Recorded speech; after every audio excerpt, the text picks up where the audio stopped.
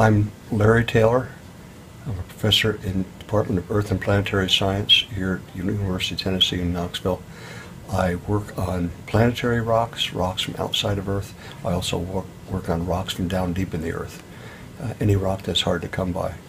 We're studying diamonds here in a particular rock called peridotite that was brought from almost 100 miles down deep in the Earth.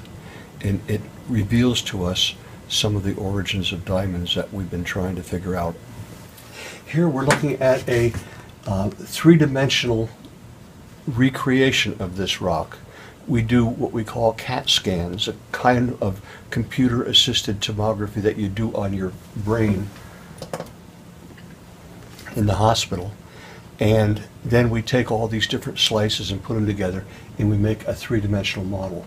Here we have a three-dimensional model which shows only diamond, the blue, and the sulfide minerals, which are yellow. Everything else is uh, made invisible.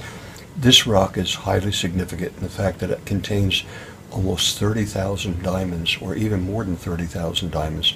Unfortunately, they're all very tiny, so they don't really have a, a gem quality value. But the real question becomes one of how did this form? We thought we knew how diamonds form, but here we have 30,000 diamonds, which are all about the same size, standing right next to each other. They didn't coalesce, they didn't form larger diamonds.